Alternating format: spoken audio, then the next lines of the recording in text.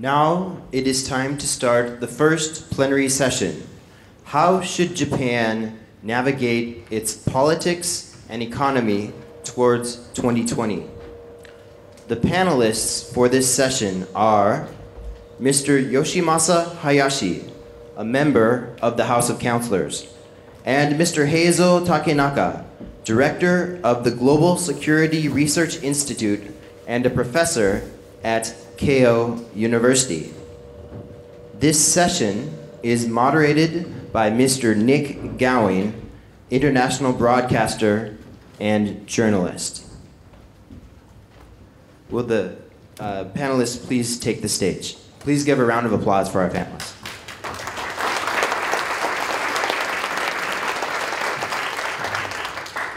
Good morning, everybody. Um, I'm always uh, amazed that you're all here on a public holiday um, and you're this devoted. Last year, if you remember, we were fighting a typhoon. Today it's beautiful autumnal weather, so thank you very much indeed for inviting us all here. Last year we were rather blown around. Excuse me while I just put this uh, and organize myself a little here. But the reason uh, for that is because of this. Um, many of you who were here last year and this is a very dynamic community, will remember that it worked terribly, incredibly well. The idea that we're going to be talking up here is going to be a conversation, no speeches, um, and you can contribute. You can help set the tone, um, either by using your hand or by using this. And this is a fantastic way of me understanding the kind of things that are already being stimulated in your mind uh, when you hear our panelists speaking. And I'd like you to come into the conversation right from the beginning. So if you've already got ideas uh, about this issue and these issues, please uh, start filing them to me now because uh, I need to hear from you uh, as soon as possible.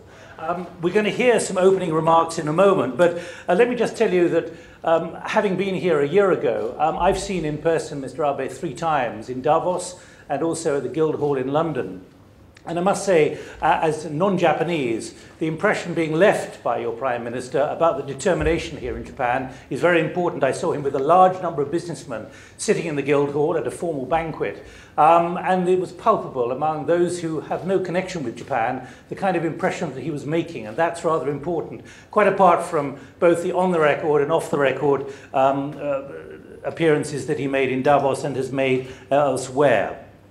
Um, I would note that um, this is about making proposals, not criticism. So what we want today is analysis and to be clear on the fundamentals. And obviously this is changing pretty fast in so many areas. We're going to be looking about how uh, Japan should navigate now its politics and economy. And the navigation is continuing uh, even as we speak. So this is a very dynamic issue whether it be about Abenomics or whether it be about TPP as well. And as you see in your little booklet, um, there is also the issue about relations with neighboring countries, and some of us have just come from China, from Tianjin, from the World Economic Forum, uh, meeting of the new champions there. So several uh, have a significant understanding about the feeling, certainly uh, in China, about, uh, about Japan as well. Um, this is about bold reforms to execute our growth strategies. We've just heard the Prime Minister say we have uh, a conviction this is our only way. Uh, we need reforms that are not tied to vested interests, and I'm ready, as he said, to be the electric drill, which is an interesting um, comparison and a metaphor. Now, let me just highlight a couple of things which are important before we hear from our guests. Uh, for those of you who maybe were in holiday mood yesterday, um, on the issue of Abenomics and uh, the third arrow. Um, yesterday, uh, the Prime Minister said on NHK that uh, he remained, quote, neutral, which is an interesting word, on whether to proceed with a hike in the sales tax to 10%. Quote, the economy is, living, is a living thing, and we are thinking about this in a neutral way building on many of the concerns, some of which I'm sure are shared in this room, about what happened in April and whether the, the, the rise then was correct, and also the impact, the 7.1% annualized uh, fall in GDP, and the impact that's going to have on the economy, and therefore whether the next hike should go ahead. But the key word there from the Prime Minister overnight is neutral. Uh, let's now move ahead with uh, the views from our panelists, and please think of uh, contributing. I will come to you as well using microphones uh, later on, uh, depending on the kind of things you want to talk about. But let's, uh, let's move ahead, um, first of all, with our guests. And first of all, I'd like to go to Heizo Takenaka, you're director of the Global Security Research Institute and professor at Keio at the moment. But of course, you do have a, a strong relationship uh, with the government and with the Prime Minister. What's your view of what is happening now in, with the fundamentals of the economy, with the tax rise, with the third arrow, and what neutral means and which way it might be going or should go? Ah, we need microphones for our guests, please. I can keep talking if you want for the next hour and 15 minutes. Of course, I can shout in my voice, but anyway, let me uh, make uh, use of microphone. Well, thank you for this opportunity, uh, and also uh, thank you, Mr. Uh, Hori and the Globis uh, people. Well, G1, the hidden meaning of G1 is Globis is number one, maybe. but anyway, anyway, uh, it raised a very important question about what's happening in the Japanese economy. But first of all, the important point is tax hike. It's not included in Abenomics. Abenomics is a different, much more fundamental policy. But tax hike was decided by the former cabinet, the former government. And this is actually the negative asset inherited from the former government. And in my observation, Mr. Abe himself doesn't like tax hike. Actually, however, this was decided already by the law. And uh, uh, this is the reason why the tax should have been hiked at the uh, spring this year. But the result was very miserable. The growth rate of the second quarter was minus 7%. And amazingly, the consumption tax, uh, sorry, personal consumption decreased by 19%, and housing investment declined by 35%. This is indicating how serious the negative impact of tax hike was. Uh, but anyway, economically, this is not good policy, but politically, he had to take that kind of policy because this was decided already in the diet two years ago, and this was announced domestically and internationally. So, uh, although Prime Minister is using the term neutral, he is still neutral. Still, still, I'm, I, I believe the tax hike next year will also take them. But anyway, as far as the third arrow of the uh, Abenomics, so-called growth strategy concerned, it has improved a lot in the past year, past year or so. Well, last year, the first uh, growth strategy was announced. At that time, uh, Professor Hamada, a mentor, a famous professor of Yale University and a mentor to Prime Minister Abe, made a very serious criticism on that. Uh, well, if the score of first arrow, score of monetary policy is A, but the score of second arrow, fiscal policy is B. But the score of third uh, arrow, growth strategy is E. So A, B, E, Abe.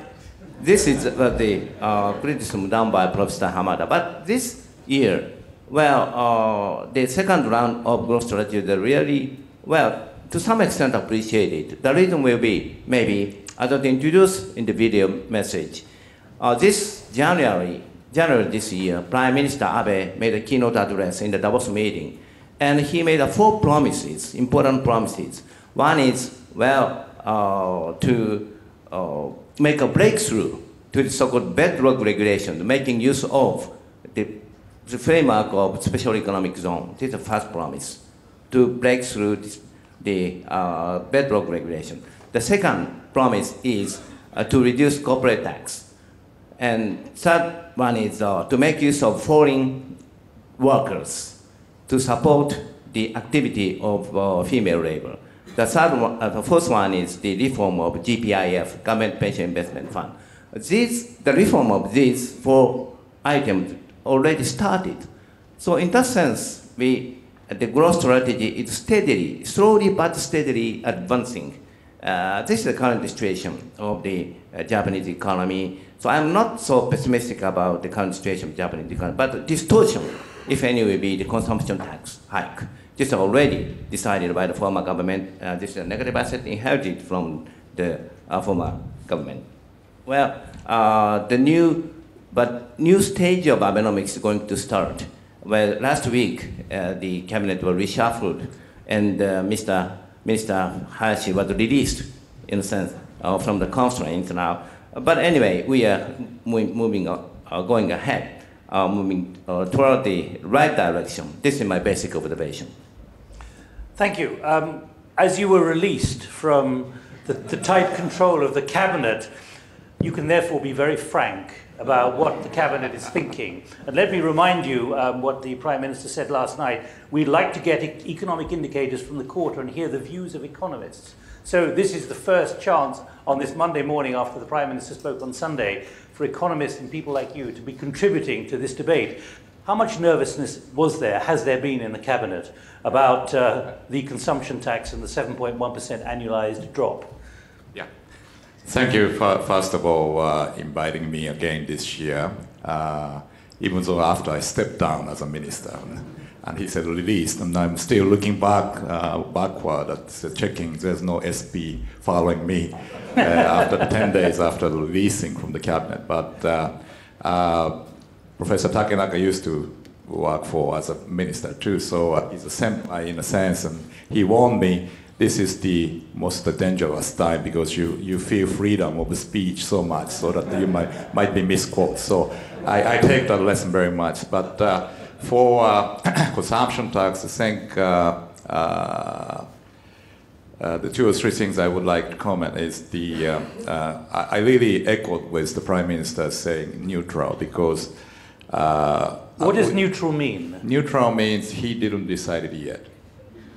You know, um, the condition is uh, the, the lessons when we raised the consumption tax from three to five under Hashimoto. The, when we discuss about raising, it, it has to go through all the party process so that uh, uh, it might take three, five, six months to decide about how to do that. And then it has to be in the legislation. So drafting the bill take like two, three months at least, and then it is introduced to the floor, and then it's enacted by majority, and then after enacted into the legislation, it might take six months to almost 10 months or 12 months to be really started as a new rate. So in total, when we start discussing about raising a tax until it's really in effect, at least it's 18 to 24 months. So when we start debating about raising a tax, it is still good economy at that time. But after 12 months, 18 months, 1997, 1998, you will remember that we have a Asian currency shock and Hokkaido Takushoku Ginkos and everything happened after that. So when it really act, actually happened, Japanese economy was downtown. So that's why, not, not, not to repeat this mistake we have made when we raised from three to five, we decided that next time we have a plan first.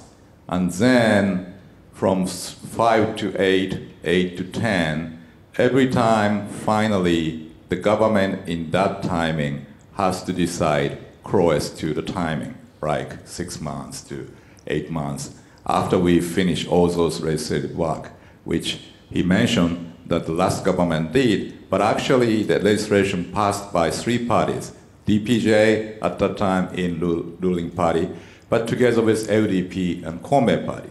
So that's a three-party passed that legislation which decides to raise from five to eight this April, and then eight to ten next October. So, which is in legislation. So finally, the law was designed so that uh, the latest government decision will follow to confirm that. So this is what uh, is saying, the new neutral, until we see the figure of July, September GDP figures, which is coming this November. So everybody knows that the January to March, it is a hike because of the pri- prior to April 1st hike from 5 to 8. Everybody's dashing, buying anything they can buy. And then uh, from April to June, it's the downturn uh, after that. So averagely, with one uh, first quarter and second quarter, So what will happen July to September? Is it coming back to the normal stage or is it still hanging on because uh, some weather problems, so many storms, so many rainfalls, so that might affect. So uh, we, we, we will be very, very much, has to be very, in a sense, sensitive about the economy's uh, tendency which is really coming back to the normal trend which we be getting after the first and second of uh, Abenomics uh, last year, or still it's going down after we hike the uh, consumption tax.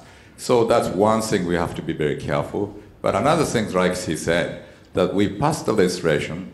So if we decided not to raise as scheduled in legislation, which means we have to amend that legislation. So amendment comes to the floor next January, and which has been a heated debate, and that is some political cost. If we decided to go uh, as scheduled, that doesn't require any new registrations. So that's put the one another condition for that. So that's why I'm totally uh, agree with Prime Minister saying neutral at this moment now, before we see the figure of GDP uh, July, September. So, um, sad arrows. The, my uh, friend, uh, who is a famous uh, economist, says that uh, sad arrow is not one big arrow, but it's a thousand sting. And in Japan, sting used for acupuncture, so that the sting has to be put in a very light spot for acupuncture. If you miss the spot, it bleeds and it hurts very well. So that's why the thousand stings is not making a big uh, headline of the Wall Street Journal, which uh, helps to raise the uh, uh Japanese stock market maybe, but it will, like acupuncture, works uh, very steadily as time goes on. So it's the growth plan. So it's not just like monetary policy, you know, take effect in one day or fiscal policy, which solely could be decided by the government, which uh, take into effect like six to uh, 12 months, as I said. But this is the co-work between the government and private sector. Even if we have growth plan, tax incentives, and all those subsidies, all those policies, if the people in the boardroom doesn't do anything, that makes nothing. So it's a co-work between thousand needles here and the business side. Can I ask you both, is what is happening now with the 7.1%, or it may have been 6.8%, or depending on which way the figures go, is this in line with the modelling? Here we are having this discussion a year later. Was this what was expected as the impact of the consumption tax or not? In other words, is it a shock? Is it a surprise? Or is it a political challenge which you knew would have to be confronted? Takenaka-san.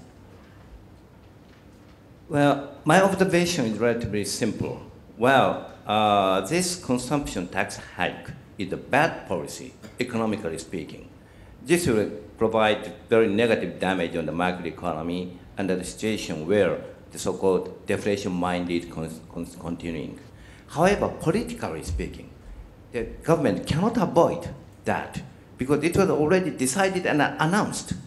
In order to stop that, new laws should be created, new, laws should uh, be approved in the diet. In order to do that, the prime minister should make use of a huge political capital. This is impossible so. So, so under such circumstances, although prime minister still use the term neutral, well, they have to, they, they cannot avoid tax hike. But let me be clear, is, is this the kind of drop in GDP which was predicted and expected by modeling? Okay, not only the government, but also the all private economists predicted the GDP growth rate in the second quarter will decline by about 4%. But actual development uh, the decline was 7%. So the, the, the, the impact was much more serious than expected. So now, what kind of policy will be taken? The most the worst scenario and most possible scenario will be to cancel out the tax hike. The government will provide supplementary budget, um, increasing government expenditures. In this case, the government revenue is increased, the government expenditures increased, creating the big government.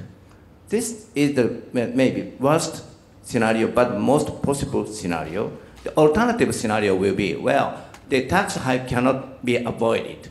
However, to cancel out the negative impact, let's increase, let's promote, let's enhance the speed of the reform to cancel out that. But even in this case, in the short run, some negative impact will remain. So again, let's make use of monetary policy to cancel out. The second round of monetary expansion is unavoidable. This is my view. So 4% has become 7.1%. Let's get more contributions from the floor on this.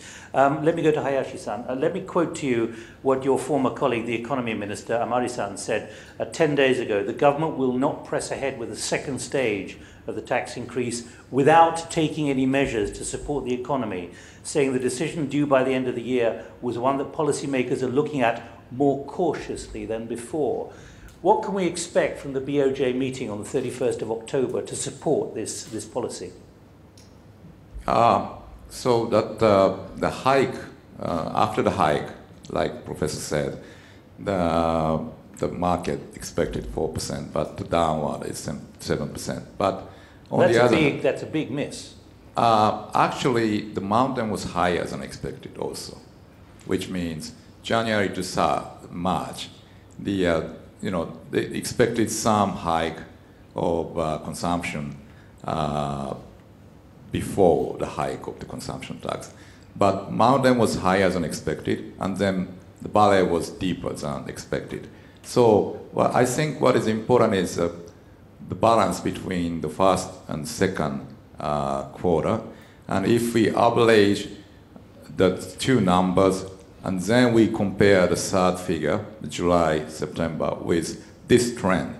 So important is not a high, deep dips, but the trend, so that if we can keep the trend of a sustainable growth, canceling out all those high and depths, then I think it's okay. Um, I'm more neutral or more for the consumption tax hike because you said it's a bad economic policy, but for macroeconomic policy, that is bad. But for fiscal and for sustainable fiscal situation, which has to supply for the social welfare, we, that is not a question of whether we should increase or not, but when we should increase, which is the best timing for economy. But so, without taking any measures, what more measures are needed? I mean, could there be a 5 trillion yen um, injection from ah, BOJ? Yeah. So that, uh, uh, I think at the end of the day, it's the mixture of the fiscal, which is supplementary budget, and monetary policy is, and like he said, the structural policy. It's not the one out of three, but mixture of three. And I think there should be very, we, we should be very careful when we do, or whether we, uh, when we do the fiscal stimulus, what type of fiscal stimulus. Because public building is already tied in the supply of the labors and supply of the machine because of the uh, eastern part of Japan uh, revitalization, rebuilding. So the simply putting more money for public building is not actually working very well. Takenaka-san, uh, the idea of additional measures, do you believe there will have to be an injection from the BOJ later this year? Uh, okay, uh, before talking about the uh, BOJ, I'd like to give some, some comments on the, fiscal situation, etc., etc. Well, many people say the mountain was high, so valley was very low. The last minute demand before tax hike was very uh, huge, so this is the reason why the drop was very sharp. But, well, but you expected that, didn't you? That's the way the, the public is, respond. Point is, the mountain was not very high this time compared with the last experience of the tax hike. In uh, 1997, we had a consumption tax hike. Well, compared with that, the last minute demand was uh, the, almost similar. But drop is very serious this time. The why? Well, at that time, in the past uh, second uh, two experience of tax hike, uh, together with tax hike, some kind of tax reduction was also taken. But this time, only tax hike was taken. This was the reason why negative impact was very serious. And many economists, including the government, uh, were ignored this kind of fact. Uh, this is one important fact. And as for the expenditure side, well, tax hike will not contribute to the fiscal rehabilitation. This is the most important point. Well, uh, now uh, we are going to hike the consumption tax by 5%, but 4% of this will, uh, you know, to, to cover the past expenditures. The only 1% of this 5% hike is used to improve the welfare, social welfare situation. So this will not contribute to the improvement of social welfare. And the, uh, also, in order to realize real fiscal rehabilitation, two more things are needed. One is to realize the economic growth, high economic, nominal economic growth. The second one is to cap, to cap, place a cap on expenditures. This kind of effort is now needed. Without this effort, the tax hike is almost meaningless, providing just negative impact. So what Okay. other measures, according to Amari-san, the economy minister, need to be thought about in order to justify raising tax again and taking that risk? Okay, two, two kind of one. One is to strengthen the growth strategy. This is supply side policy, so it will take some time. But this will enhance the expected rate of growth to stimulate investment, etc., etc. This is one thing. Another one is, well, uh, we need help from the Bank of Japan, another round of fiscal, uh, sorry, monetary expansion. At the same time, it is very important for Amari-san to create the much more sound fiscal rehabilitation policy, making use of the Council on Economic and Fiscal Policy. It is very inevitable, it is inevitable to change the social welfare system. Otherwise, expenditure will continue to increase. From the year 20, 2000 to 2007, the total expenditure of the Japanese government was uh, in the level of 82 trillion yen, 83 trillion yen. Now expenditure is reaching 100 trillion yen. The amazing increase, 20% increase in the past five years or so. So we have to stop this, uh, the increase of expenditures. Otherwise, tax hike is pow- powerless, but not useful for the fiscal rehabilitation. This kind of much more fundamental policy effort is needed for the government. Let's get some more views, can we? Um, Robert Feldman, are you here? I think I saw you. Robert, um, given that at the end of August you were quoted as saying Abenomics is in trouble, um, can I get a mic, uh, a mic to you, please, and also to Jesper Koll as well, please? Um, how do you respond to what we're hearing here? And it's on the record, of course. Thanks. You were Um, quoted on the 26th of August as saying Abenomics is in trouble. This is correct. That was the title of a piece I put out on August 17th. Um, uh, and uh, the point I was making in that piece uh, is that the pace of the third arrow reforms is slower than the pace of demographics. Okay? That's the key issue. Uh, if we're going to truly achieve this 2% real growth rate that Abenomics is talking about, uh, given that the population is contributing a negative, call it half a percent, we would need productivity growth to be 2.5%. Over the last 20 years or so, on average, it's been one. Japan's done okay in terms of comparison to other countries in productivity growth. Uh, however, uh, my very simplistic calculations suggest that in order to get, get up to 2.5%, we would need to double the level of R&D uh, as a share of GDP from about 3 plus percent to about 6.5 percent. Okay? Uh, when I look at the growth strategy, I don't see the elements in there that would accomplish what we all want Abenomics to accomplish. Okay, so that's why I say Abenomics is in trouble. Uh, subsequent to that report, I think we've seen some good moves. Uh, the type of uh, cap on physical, uh, excuse me, on Social Security spending, spending is now a common discussion. Six months ago, no one was talking in public about capping social spending.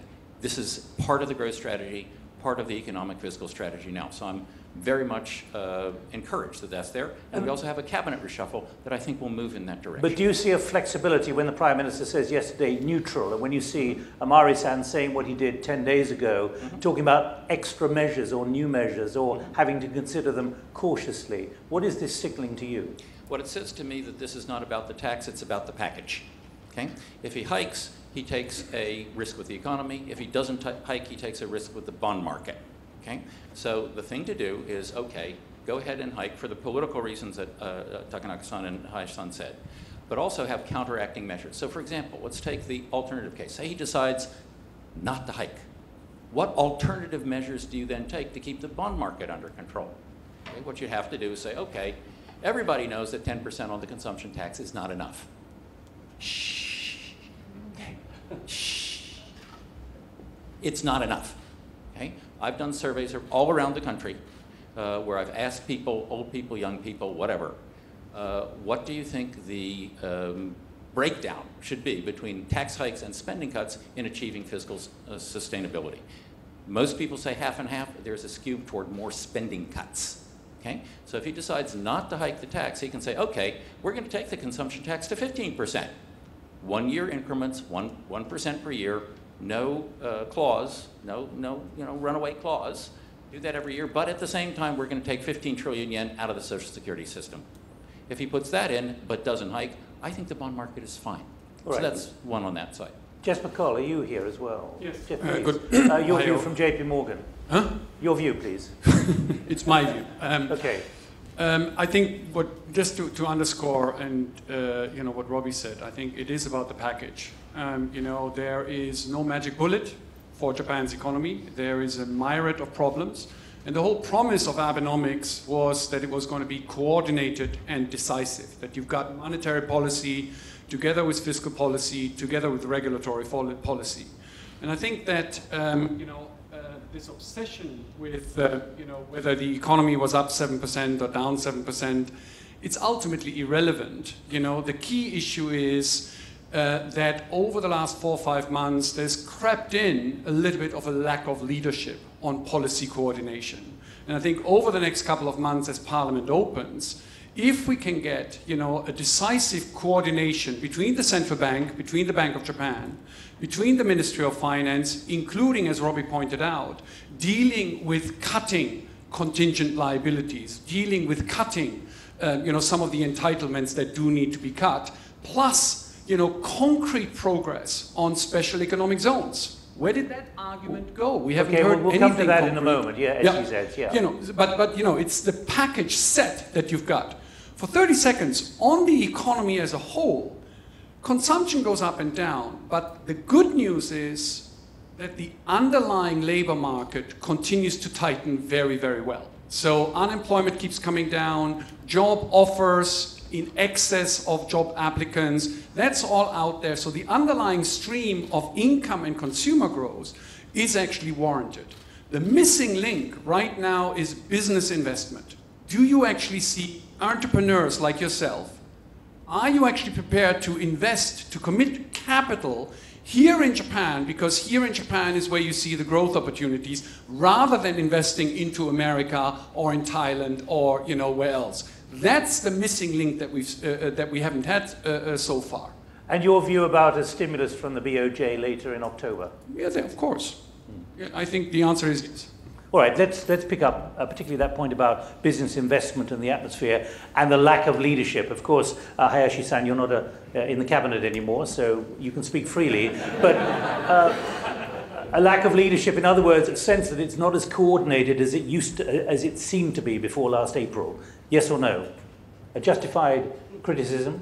Uh, actually, we're not talking about criticism, are we? Looking about way, ways ahead, but you know what I mean. According to the G1 principle, no criticism, Exactly. right? That, so, uh, I, that's why I withdrew it, but I found it another But, way uh, to frame it. The, the, the simple one says no, because uh, Amari-san is still there. And actually, when we design the Abenomics before we get into the government as uh, opposition parties, we are thinking about reviving the Council for Economic Fiscal Policy, uh, which was not never used by the DPJ government. So uh, that's why that board has a prime minister as a head, and then Amari-san as a minister in charge, and finance minister, president, or president of Bank of Japan, governor of Bank of Japan. Yes, yeah, sorry about my English, but uh, those are, are and should be the uh, the board which should decide after all the, with the everybody in. So, and I, I think it's still working. Some uh, me- uh, private members changed from uh, previous members, new member, and I think the first meeting after the new member uh, will be held um, this week, I think. And Takenaka-san is one part of them. So I think still there's a coordination that, uh, and also communication between the Ministry of Finance and Bank of Japan is so well the, compared to the days when I was a vice minister for finance under Miyazawa, uh, that we have some difficulty to communicate and mutual understanding between Bank of Japan and the government. So I think it's went, went going very smooth, but like uh, he said, the, the third arrow, arrow takes some time, not like monetary policy. So I think we have to be very kind of uh, enduring the unwelcoming effort of the public, uh, private sector to jump in. So the new uh, growth plan last June includes not only which area we are going, like uh, uh, frontier, the health, and and so on, blah blah blah, but also the law that uh, gov governance, uh, courtship, and other things, so to enhance the private sector's uh, in, investment more, more uh, kind of uh, animal spirit of the private sector. So which is very important in a sense, but we cannot expect that third era arrow works as quick as first and second arrow. Let me just pick up, if I may, on what just was reminded us about, which I was going to pick up on anyway, business investment and the special economic zones, the five zones right across from Tokyo down to uh, a small, the, small prefecture. I mean, the, the, the impression is that this has really got nowhere so far. Do you accept that? Got what? Well, they haven't got anywhere yet, these special economic zones. There seems to be a kind of talk about it, but not enough action given the priorities ah. being set to understand the the implications of, and the possibilities in these new special economic zones? So uh, the special economic zone is not the only uh, thing. Like I said, there's a thousand things. So it's not the big arrow. The third big arrow is the uh, economic zone. So economic zone has some menus to start with, but that, that system has some uh, system uh, that uh, as, as it goes, the menu will be increased uh, into the special zone and not like the first uh, structural economic zone we started like one decade ago that uh, menu can be uh, add on to each economic zones according to what they're trying to do. So I think uh, uh, special economic zone is not the only uh, but uh, other private sectors, like in Tokyo, other areas, has to do what they have to do uh, under that uh, environment, I think. Yeah, but people are looking at it and saying, you say you want to do it, there are important principles to examine, whether you go uh, from Tokyo down to Yabu, uh, the size and everything else, that you've got to establish whether this SEZ principle is something that's going to run or not, and you haven't yet done that. Yeah, it just started, so... yeah, but people are impatient. Yeah, but uh, like I said, the third arrow is not as quick as first and second. So it, this is a third arrow which is not flying as fast. yeah, because it's in a, slow motion. No, actually, the, as, as I said, monetary policy, which is decided by the Bank of Japan, it will be effect in the market just that day. But the, the third arrow is including special economic zone, tax incentives, and everything which will be enacted, and then they are planning to use that, and according to that, they are thinking, and then finally hiring some people, making investment. Okay. So that will take time. Takenaka-san. Explain. Let me explain a little bit about special economic zone because I am a proposer of the special economic zone. I proposed this April last year in the Council on uh, Industrial Competitiveness. In usual case, it will take two years or so to create a new law the procedure is very complicated. But in the case of this special economic zone registration, it took only eight months. December last year, this was approved in the diet, according to the effort. And now, uh, the, we have a special economic zone, the council also, the discussion has been starting, and also six zones were nominated January this year. It's steadily advancing. But still, we have one problem, the problem of Tokyo. Tokyo government movement is very slow. They are not so cooperative to that. Well, they're obstructing it, aren't they? Well, in the case of Tokyo, well, They well, don't like it. they no. that must be one reason, maybe. They, they're, they're not ready because the governor changed, right? no, no, no, no. no. Well, uh, in the case of the. Tokyo, uh, it's a lot of chance opportunity, business opportunities. They do not need so seriously the system change. This is the reason why the Tokyo movement, government movement is very slow. But uh, for example, uh, hopefully, hopefully next toward the end of this month or next month, the Tokyo or special economic zone will start, and this is now going moving ahead. Another important issue relating to this uh, special economic zone is uh, the leadership problem, the headquarter function of the government. Yes, this headquarter problem had been existing from the beginning of this Abe government. The, the very simple, uh, too much simplified, I'm afraid, but the explanation like that. The real control tower should be the Council on Economic and Fiscal Policy. But actually, this council is strongly controlled by the Ministry of Finance. This are recognized by the bureaucrat, by the Ministry of Economic Trade and Industry. So METI people established another policy board. This is the Council on Industrial Competitiveness. And under such circumstances also, the another regulatory uh, policy board or the deregulation council, the function of this is still very weak. The chairman of this council is very responsible for that, in my understanding. And uh, uh, ma- many members should be changed, in my opinion. So, but anyway, and under such circumstances, another policy issue emerged. That is the revitalization of the uh, local economy.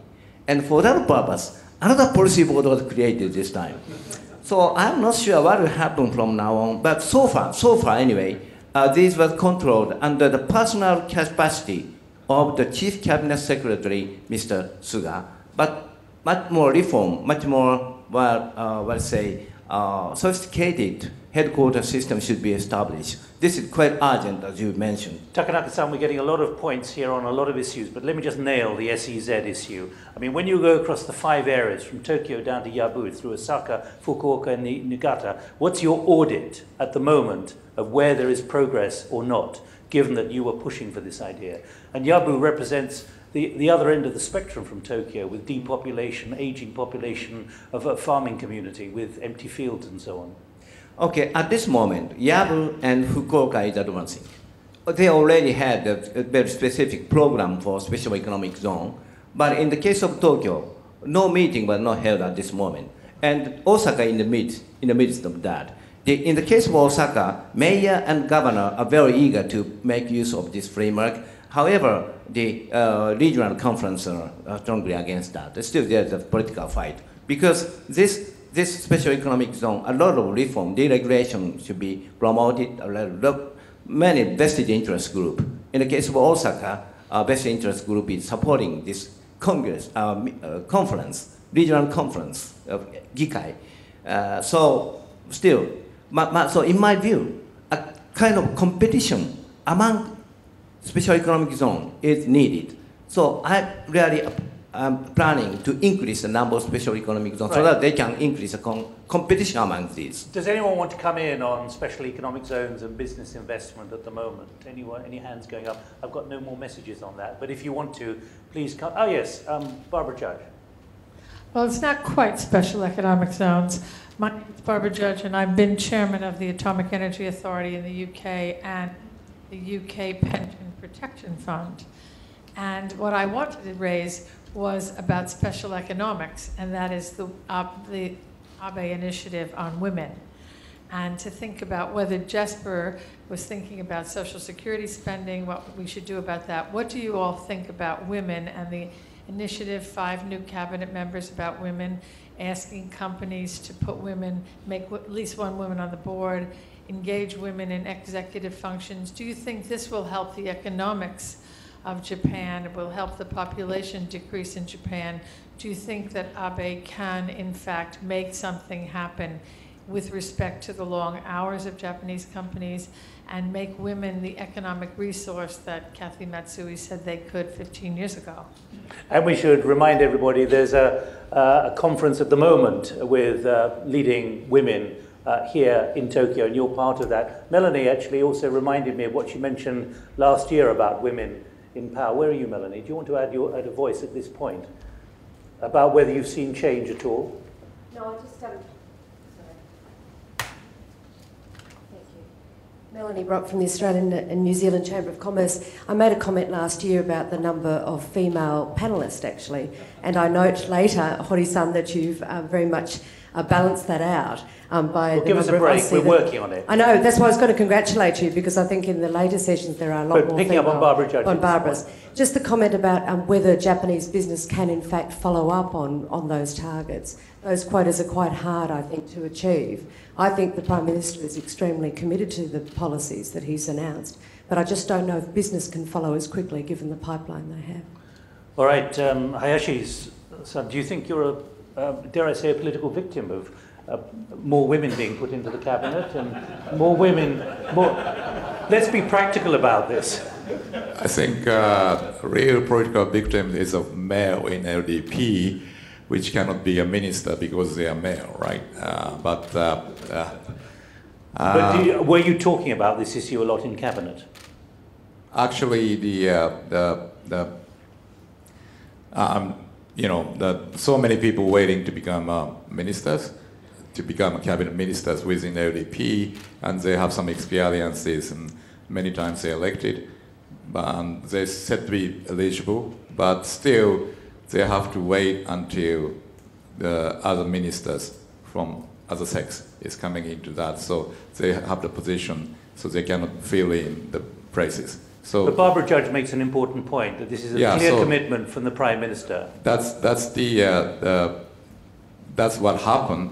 But against all, all, all those odds, Abe decided to use those five ladies in the cabinet, which is could be said quota, but or maybe affirmative action. But if you don't do that, then it will never happen. So sometimes, someday, somebody should start that kind of things to lead example. Because it's like a grandfather's rules that if your grandfathers had, didn't have a boat, boarding light, then you don't have a boarding light. So never ever will be any women. So that the government should start with those kind of things by his leadership to do that. So But there's a, there's, a, there's a fundamental economic and demographic argument here, which is about using the potential in the population here and using women Oh, yeah. far more effectively and giving them more influence and power Yeah. um, commensurate with their skills and responsibility. Yeah, I think I, I, I perfectly agree with that. The M curve here in Japan and maybe in Korea is compared to other countries uh, is very sharp. So that how to round this M shape uh, working uh, situation is the key.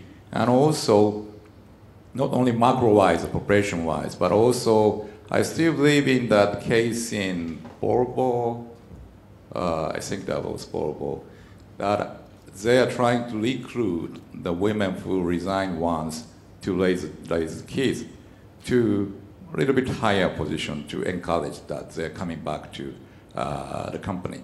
Um, one lady who came back after raising a kid, going back to the designing section, and she started to say that we need an airbag, not only in the driving seat, but next to driver's seat, because mother with the very small baby sitting in that seat.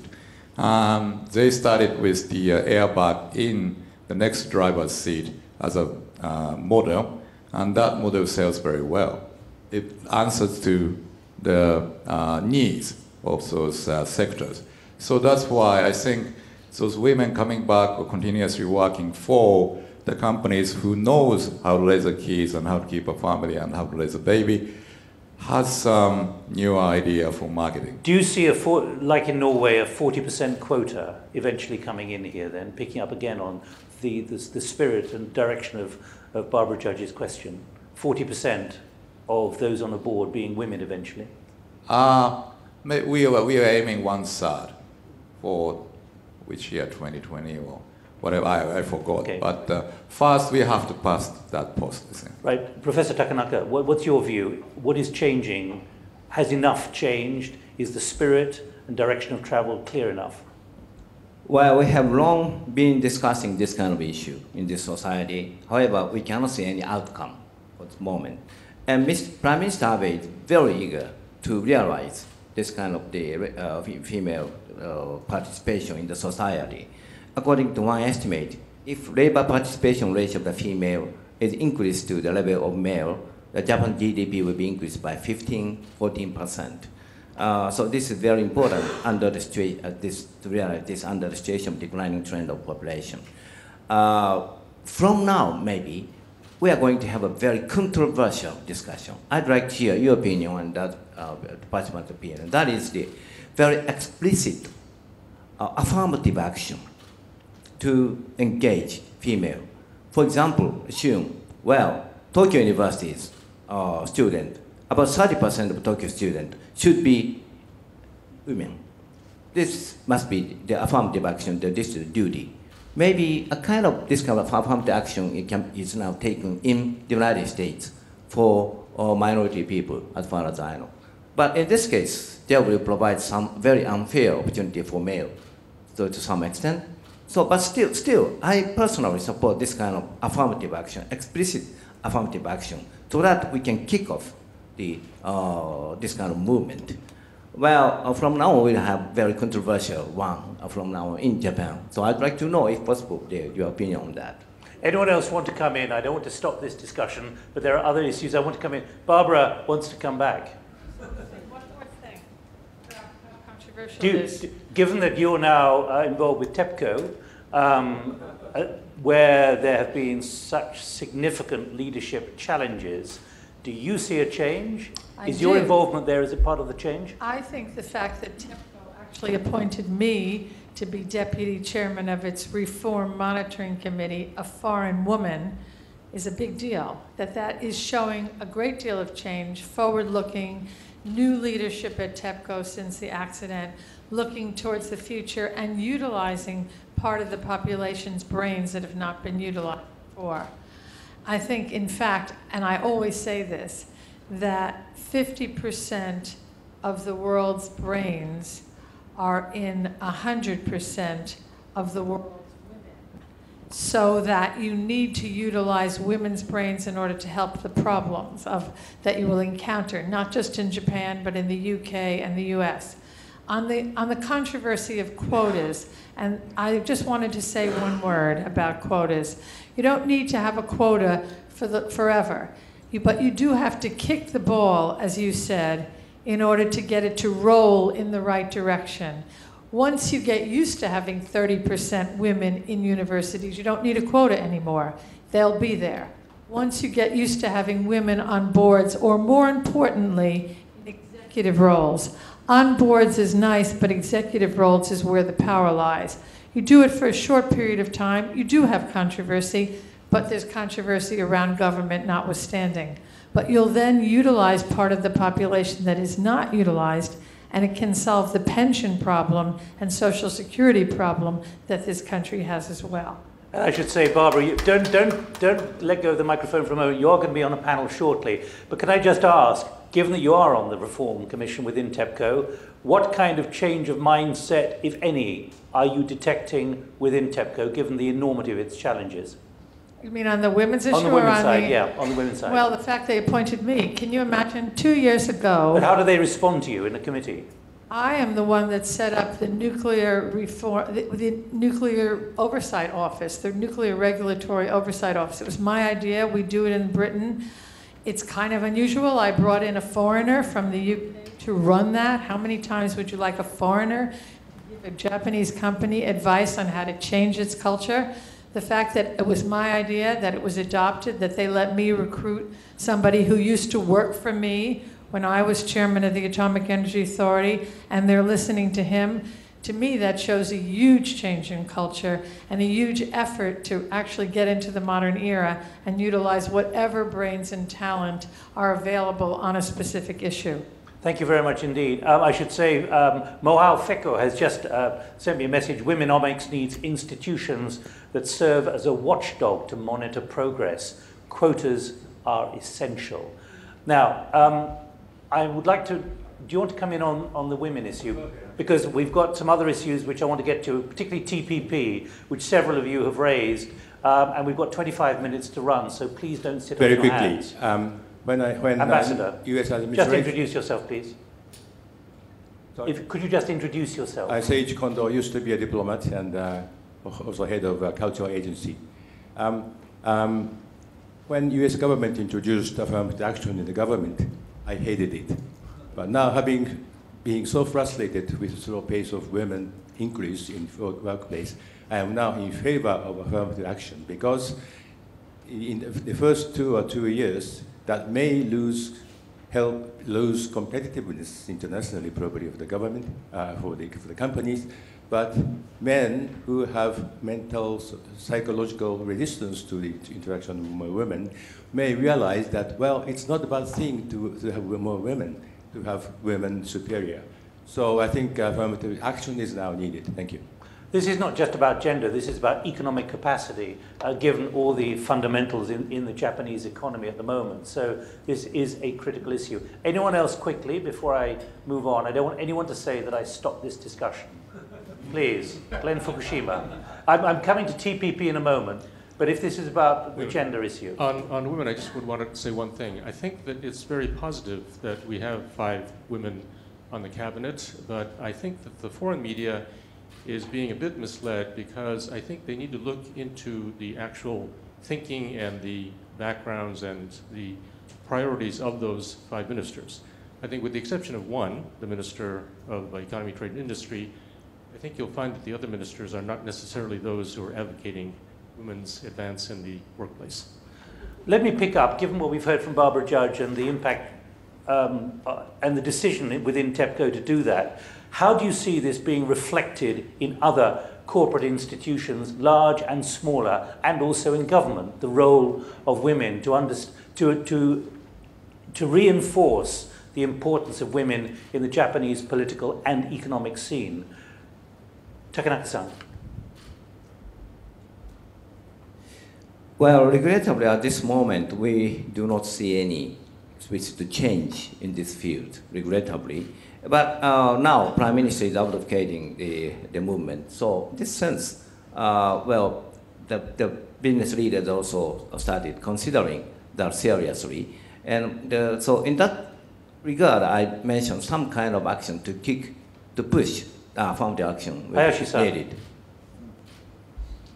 Point is uh, hi- appointing to the higher, more responsible position is very important.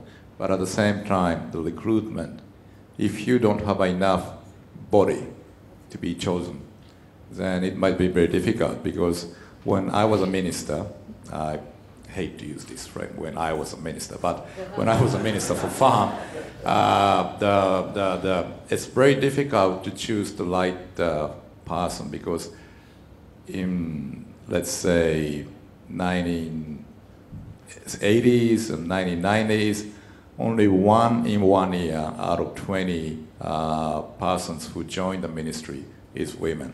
So it's doubled in Heisei, and then it's more and more in like these 10 years.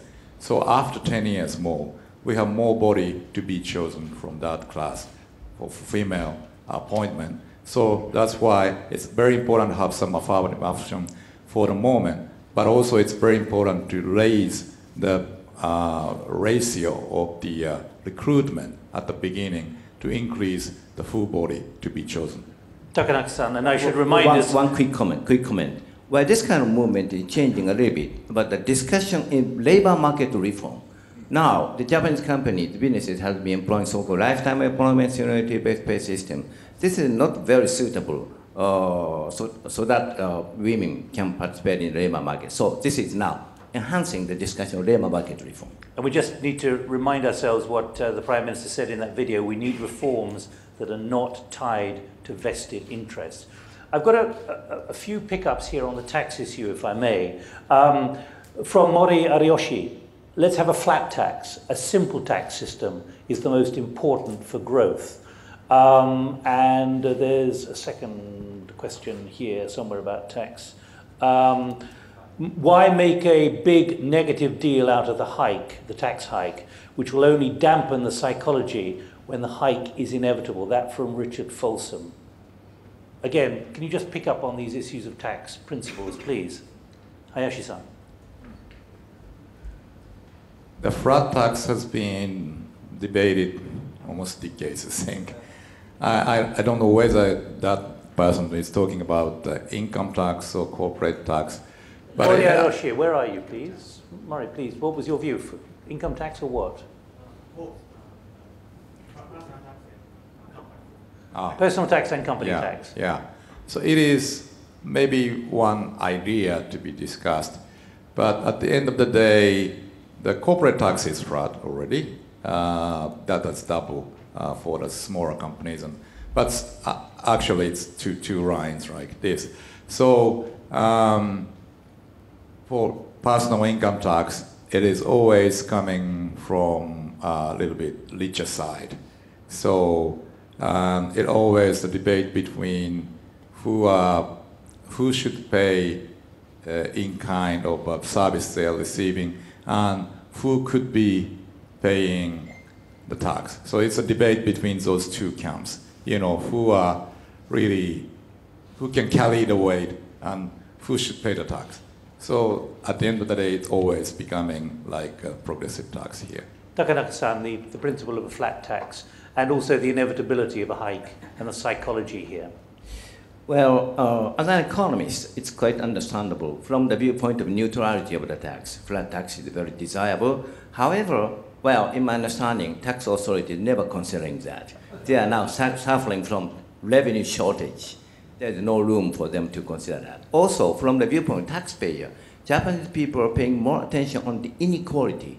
The flat tax uh, will not help to, to gap this inequality. So, but this is realistically very difficult. Well, tax hike is inevitable, you know, consumption tax hike is inevitable means, as I mentioned already, this is already decided in the government the, and approved in the diet. In order to change that, well, Prime Minister should provide a new law to stop that, and this should be approved in the diet. So for that purpose, Prime Minister have to make use of a huge political capital. How to allocate the his political capital for the purpose of collective defense, the purpose of uh, the economic reform, etc., etc. Considering that, it is very, uh, it is not realistic that for him to make use of his important part of political capital to stop tax hike. Thank you. We've got 15 minutes to run. Don't say in 15 or 18 minutes that I haven't asked a question because you wanted to ask it, but you didn't actually sort of signal you wanted to ask it. We've got a pick up here from Taishi Goto, in charge of the Fukuoka zone. Where are you, please? Because I think you maybe ought to put your question yourself. How can we have a dialogue between the public and private sector in the zones to increase business investment. Are you seeing progress in Fukuoka? Yes, but a little. And I'm in charge of the managing the private sector efforts to really make this special zone happen. But so far it seems to me that the dialogue is limited just between the national and the local governments. And it's not easy to really reflect our voice from the private sectors. And private sectors mean not necessarily local companies, even the national or global companies are coming to Fukuoka, but they don't know how to react to this policy so far. Is there clarity in the policy or not? Yeah, yeah, yeah, that's a problem. There isn't clarity, you're no, saying? No, not quite. Uh, maybe for the governmental officers, it's clear, but from the business sector point of view, it's very unclear actually. And uh, I wonder if you have any comments on how to accelerate the dialogue between the public and private sector. Not enough dialogue between public and private sector. Takenaka-san. Yes, I, I, agree. I think so. At this moment, even among the central government, we do not have enough discussion on that. So one, we, we are considering that. One is a kind of a kind of a special economic zone caravan. We sent caravan. We sent a kind of uh, uh, specialists to, to local cities to, so, so that we can have a discussion. Another one is in the case of Fukuoka, the labor uh, consulting office, kind of labor consulting office, is going to be established uh, soon. So this will have played some important role uh, to promote the, this kind of idea. But you accept the, the criticism essentially that there's not enough clarity. The principle may be great, as part of the uh, as part of Abenomics, but you haven't really, or the government has not really communicated precisely where you want the SEZs to go, but more importantly, how to get there. Appreciate the suggestions. but uh, one way we are now going to increase the number of working group people so that we can increase the, uh, the communication. That's one, one method.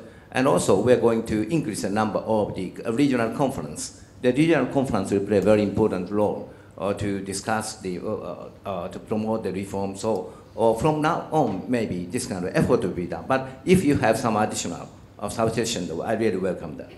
Right, um, let's move on to um, something uh, which Mr. Hayashi has been deeply involved in until 12 days ago, uh, the Trans-Pacific Partnership. Glenn Fukushima, you uh, had a series of questions about what was the uh, real agreement on the TPP. Would you, do you want to add to, add to this, Glenn? What was the real agreement on the TPP between Amari and Froman in April? And take it further. So when I was visiting Japan in April, uh, obviously there was not a breakthrough uh, at least public announced, and publicly announced on TPP between uh, Michael Froman, USTR, and uh, Mr. Amari. Uh, the New York Times had a front page article saying that Obama uh, faced two setbacks, one on the Middle East and one on TPP during his trip here. when the US and Japanese governments saw that headline, they went into spin mode and tried to say that no, actually there was considerable progress made. So there's some confusion, I think, as to exactly what the agreement was and how much progress was made. So can you tell us, now that you're no longer in the cabinet, what was the actual agreement reached? Number two, uh, how soon can we expect an agreement? Because there, in Washington, D.C., there's a wide range of views. The optimists thinking that something can be reached before the end of this year, others who think that nothing can be reached until past, uh, beyond 2017 after the new administration takes office in the United States. So I'd like your take on that. And also, one question is uh, that's also very important is how important is TPP for Prime Minister Abe and for Arrow 3? There's a, I think, a difference of views on how important the Prime Minister believes TPP to be in his economic policy. All easy questions, if I may say. Thank you. Uh, the, uh, you know, even though after I released from the cabinet. I think uh, I cannot talk about uh, real contents of what is discussed and what has been written and what has been said.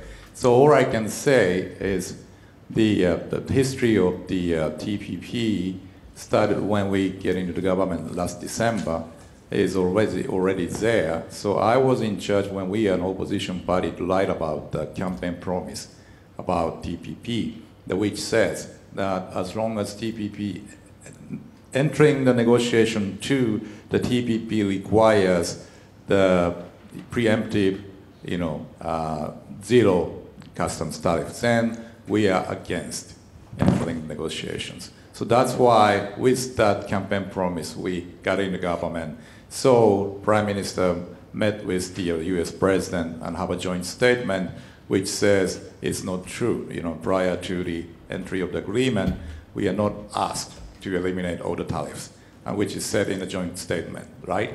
So up until the entry in that uh, uh, um, spring and official negotiations started three, three, months after that, up until December, uh, there was like two uh, flags. One flag is a Honolulu flag that uh, before we entered the negotiations, 11 or maybe nine countries said that this aims the very high, high, high uh, standard of the uh, uh, new EPA. And then another flag is that Washington joint statement between two countries. So Japan is hoisting the Washington flag, and the U.S. is hoisting Honolulu flags, and it's kind of kind of a philosophical debate of those two camps uh, up until last December when we meet at the Hotel Okura uh, together with Amais and myself and as ministers with Mr. Froman and Ambassador Kennedy. So then, and after that point, real negotiations started with kind of framework or equitation or hoteshikigoi, whatever it might say. So all these things uh, appeared on the newspapers or read by somebody uh, on that negotiation. So we are making steady progress but still we don't reach to the final agreement. So as you know very well from being in a USTR, then no, you know, nothing is agreed until everything is ag- ag- agreed. So that's what we are facing. So that's the uh, answer number one. And how important TPP is to uh, Prime Minister Abe, I feel that from the beginning, he is for TPP. From the beginning means when he ran for presidential election of LDP, when we are opposition party, and we are uh, two of the five candidates, including myself also. So um, basically, I'm agree with, agreeing with him. This is like, to my personal opinion, it's like Meiji restoration.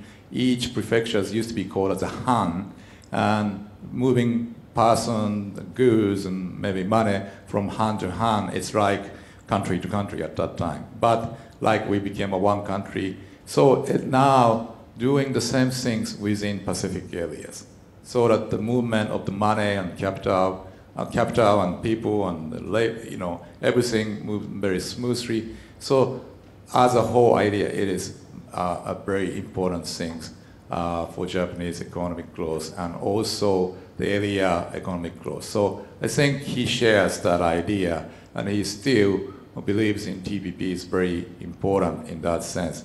But also he faces the, you know, un- understands the reality. Uh, you know, at the end of the day, the, when we entered negotiation last March last year, the parliament passed the resolution unanimously, including opposition party, to say all those things. So when, as a government uh, agrees, then that has to go through the parliament process, and if parliament rejected that, then that's just a piece of paper. So that's why that's the political reality we have to face. So, you know, Prime Minister Abe is always saying uh, we are, uh, you know, going with that resolution, and we had utmost effort. So one thing I'd like to be a little bit use of my liberty after releasing from the cabinet is the, each country has some political uh, situation and political schedule. So New Zealand is facing, I think, the election very soon. Um, also, U.S. is facing uh, the election 4th of uh, November. So it seems to me, towards those elections, the flexibility of the government for negotiation is a little bit, you know, uh, going down until the election date. So that may be happening in uh, the negotiation field. But, Hayashi-san, let me just, is there really a willingness to relax the natural instincts for protection here in Japan? In other words, this is a core issue in TPP. You mean relaxing what? Well, general, just everything that's that's incorporated in TPP. Yeah. The, the instinct for protection in We- many countries. Uh, we are saying that the betterment of the market access. So not only releasing the uh, you know uh, custom duty, but there's so many ways to uh, betterment access, and that has to go at the end of the day with that uh, uh, parliament resolution. Takenaka-san, what's your, what's your assessment from outside government of the way this is going? Um, a number of comments here about how slow it is. Um, what are the prospects? Pessimism, is that warranted? Well, only the negotiators can understand what's going on. And uh, But you're a professor, Glenn- you know what's going Glenn on. used to be USTR, and uh, he was in charge of the negotiations. I also used to be involved in this kind of negotiations. Uh, so the, the social reputation and what's going on are com- very much different many times. Uh, but anyway, I'm personally, as an outsider, optimistic about the conclusion of TPP. I'm optimistic about that because they, now we have a lot of discussion between the United States and Japan, but uh, the United States and Japan are both beneficiaries of this TPP. It is quite clear. So by promoting this uh, TPP negotiations, the conclusion, well, we have a lot of merit, a lot of uh, calculations also existing. This will increase our GDP substantially, and we have uh, a lot of uh, merit to, to change the industrial structure. So oh, my, my, my observation is very simple. I'm not pessimistic, relatively optimistic about the future. Uh, and also, Prime Minister Abe is also uh, strongly supporting this kind of negotiations. This is my view. Right, uh, we've got five minutes to run. I've got a couple of, of other areas to, to pick up here. Uh, from Norishikata, what is the role of educational reform for Abenomics? Can we have more Japanese universities that are competitive globally? And a point raised right at the beginning by Greg Story, a post-Abe administration, will Abe's policy continue or will the pendulum swing back strongly the other way? Takenaka-san. Well, I'm working in university now, so I feel very responsible for the weakness of Yeah, Japanese you know universities. everything in it. You know everything in a university.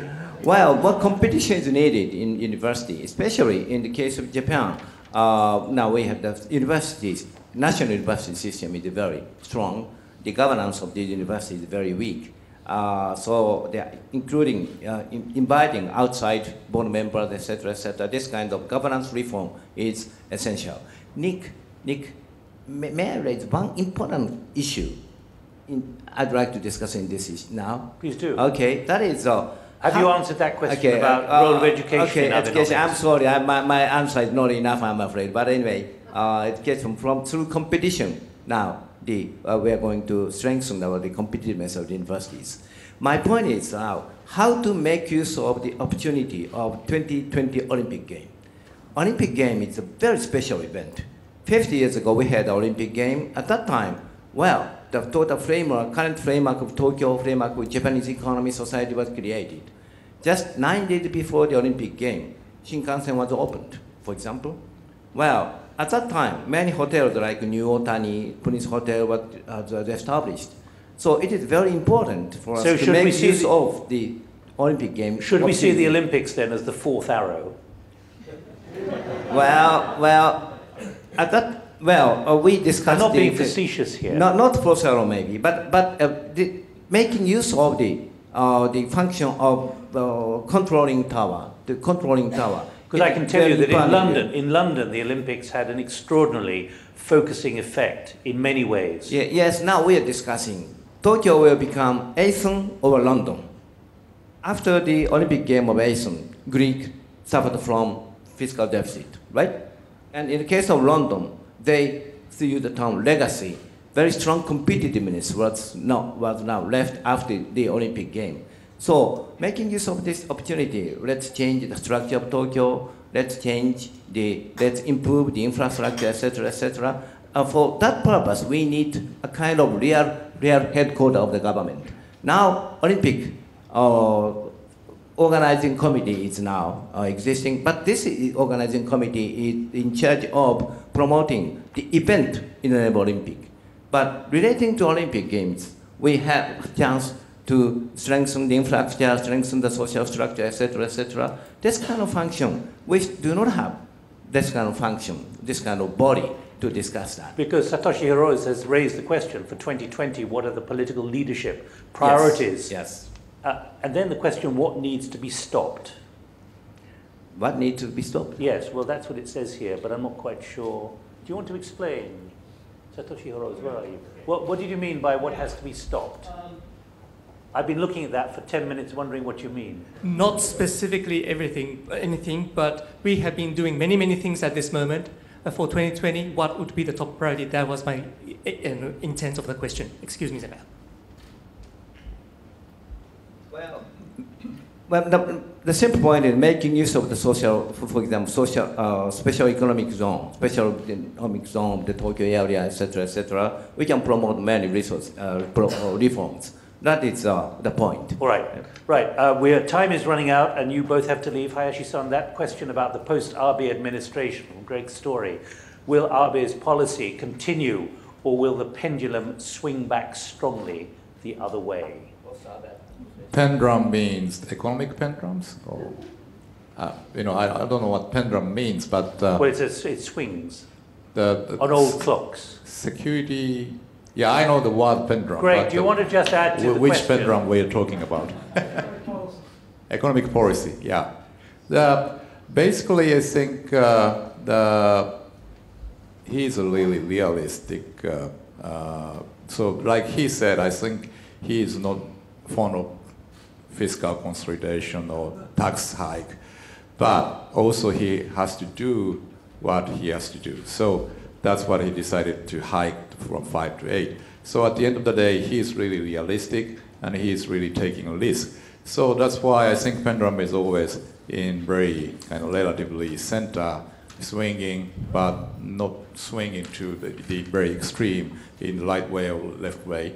But uh, after healing and many things, and he knows that he is the last person to decide and backstops there. So I think that uh, what he's trying to say, his neutral means that shows that his realistic stance now. So I don't think the if pendulum swings, I would say the image of Abe uh, as a prime minister is more like hawkish, right? Uh, more nationalistic.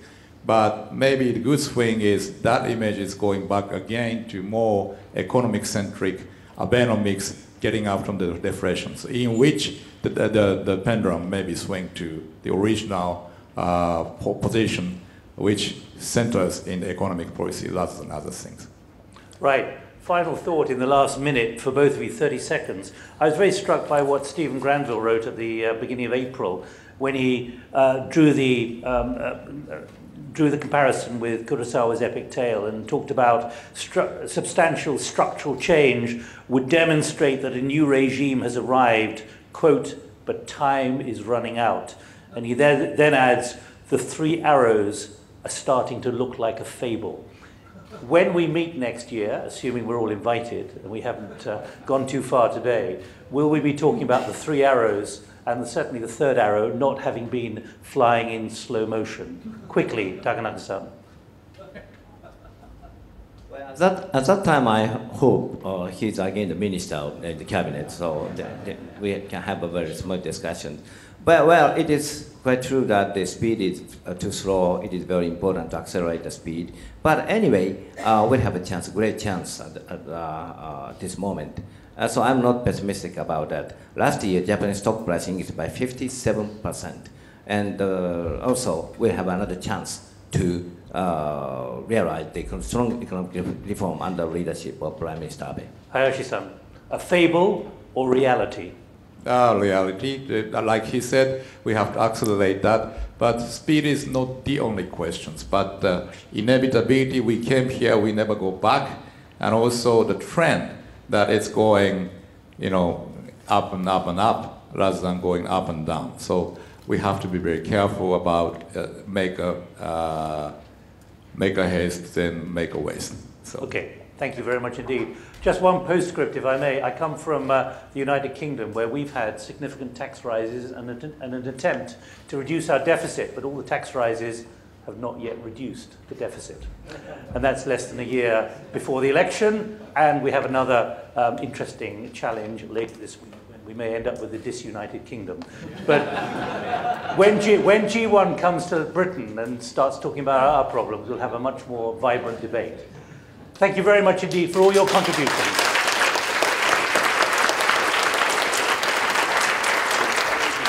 That all right? Thank you very much, Mr. Gowing. And that concludes the first plenary session.